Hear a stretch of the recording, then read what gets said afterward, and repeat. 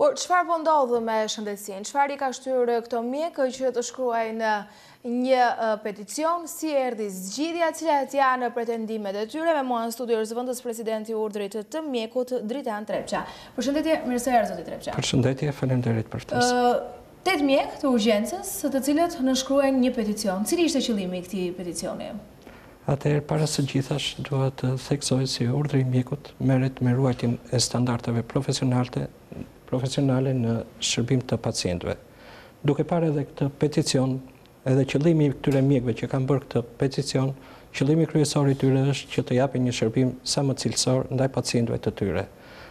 Dhe këtu nuk vihet në dyshim as qëllimi i mjekëve, qëllimi i mirë i mjekëve për të dhënë një shërbim sa më të mirë ndaj pacientëve, po ashtu edhe Drejtoria po të njëjtin qëllim ka, drejtoria e institucionit përkatës. Me sa shoh unë këto kërkesa të mjekëve janë më shumë kërkesa të kontratës së punës, moszbatimi i kërkesave të kontratës së punës, që mendoj që me një bashkëbisedim të mirë të mjekëve me drejtorinë e QSUT-së, mendoj që do të shkojnë drejt zgjidhjes. Natyrisht, urgjenca e Tiranës është mjaft e ngarkuar, ashtu siç paraqitet në letrën e këtyre mjekëve, por mendoj që duke ulur, duke biseduar, nuk do të cenohet cilësia e dhënies së shërbimit ndaj pacientëve, gjë që është qëllimi kryesor i urdhrit të mjekut. Por çfarë ndodh në komunikim mes drejtorisë dhe ministrisë? Çfarë e ka shkaktuar? Pse nuk është zgjidhur pra më parë? Ju thoni që ka një vullnet mirë nga palët, por tashmë jemi përballë një peticioni. Kjo është një një problem më më shumë sindikalist, ë, që i takon më shumë shkeljes së kontratës së punës nga njëra palë, si duket, por që nuk i takon urdhrit të mjekut të futet në këtë. Mirë, ndalemi pak te kushtet në të cilat funksionon Qendra Spitalore Universitare Nënë Tereza apo dhe urgjenca, meqë po flasim për këtë shërbim domosdoshëm. Çfarë ka ndodhur ndër vite? Vërtet kushtet nuk janë të mira dhe kush është problemi kryesor? Atëherë, ë, Mjekët në përgjithësi dhe sidomos mjeku i urgjencës punon në kushte mjaft të vështira dhe po të flasim në në kushtet e tanishme që ekziston një krizë e madhe besimi midis mjekut dhe pacientit, duke pasur parasysh që mjekët punojnë edhe jashtë orarit të punës për të dhënë një shërbim sa më cilësor ndaj pacientit, atëherë me gjithë mend bëhen kushte të vështira.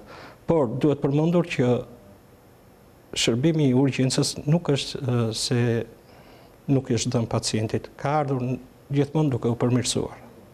A e përballon QSUT-ja dhe urgjenca në rastin konkret me një fluks, ka pasur një fenomen e kemi trajtuar në fakt në Report TV që pacientë nga qytete të ndryshme të gjithë përplasen nëse do të shprehesha kështu, po dynden drejt Qendrës Spitalore Universitare Nënë Tereza, a është dhe ky një problem? Është një problem real ky që spitali ose Qendra Spitalore Nënë Tereza është një spital terciar që ndërkohë luan për të gjithë urgjencat e Shqipërisë dhe njëkohësisht edhe të qytetit të Tiranës. Kuptohet që ka edhe një mbingarkesë. Gjithashtu duket sikur ka një reformë të paktën për të për në shëndetësi, për të çuar mjekë të mirë, të cilët do të paguhen më shumë në rast se do të shërbejnë pra në zona të largëta, do të funksionojë kjo në gjykimin tuaj? Natyrisht është një hap përpara për Dhënien e një shërbimi mjekësor më cilësor.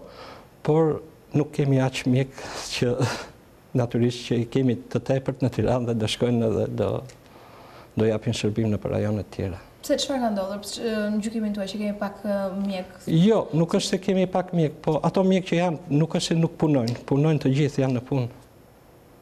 Kështu që Natyrisht do do ketë efektin e vet edhe kjo kjo rritje e rrogës ose dhënia e shpërblimit për këto mjekë për të punuar në zonat më të thella. Dakor, për t'u rikthyer edhe një herë tek ajo që është tema e ditës dhe që ne po bisedojmë për tek mjekët e urgjencës së Qendrës Spitalore Universitare të cilët nënshkruan pra këtë lloj peticioni dhe më pas gjetën një zgjidhje pas komunikimit edhe me zëvendësministren. Në gjykimin tuaj, çfarë ka ndryshuar në vitet e fundit, për mjekët flas, përveç asaj që ne përcjellim herë pas here, që janë, konfrontohen me pacientët, kushtet në QSUT?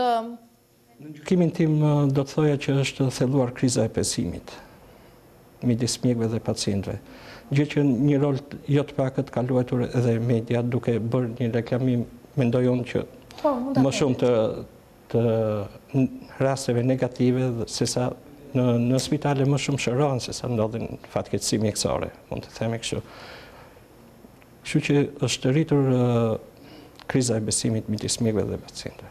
Për ta mbyllur këtë bisedë, një pyetje të fundit, po në Report TV, kolegët tanë kanë raportuar se ka mjekë të cilët pra largohen, duke plotësuar të gjithë dokumentat e duhur, pra në mënyrë zyrtare nga Shqipëria, po në mënyrë zyrtare largohen qoftë në Shtetet e Bashkuara të Amerikës, në Kanada, çfarë po ndodh, çfarë është ky fenomen dhe a ka kosto për vendin tonë për mjekësinë po. shqiptare, sepse janë mjekë të mirë nga informacionet që ne kemi. Po, është e vërtetë që mjekët Mjekët kanë një iniciativë edhe për t'u larguar, por kjo nuk do të thotë që mjekët nuk është se janë larguar më përpara dhe nuk do largohen edhe sot.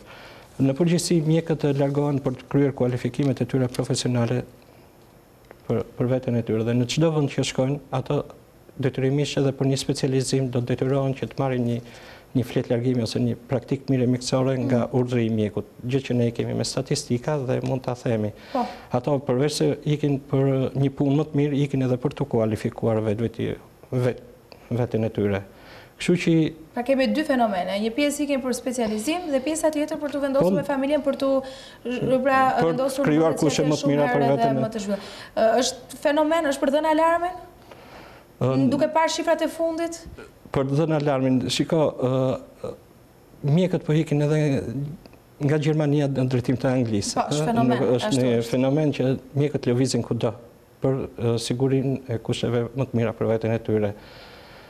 Por, Them që edhe kanë ardhur mjekë të huaj në Shqipëri dhe edhe vijnë, nuk është natyrisht është një problem që duhet i duhet vënë gishti sepse po ikin, faktikisht po ikin një numër mendoj unë i konsiderueshëm mjekësh.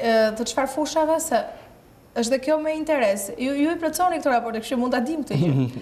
Kanë ikur, në përgjithësi, masa më e madhe e mjekëve janë mjekë të rinj, të sapodiplomuar, të cilët kërkojnë një kualifikim të mëtejshëm. si në Gjermani, si në Angli, si në Itali. Mirë, faleminderit, zoti Repqa, që ishit me mua në studio.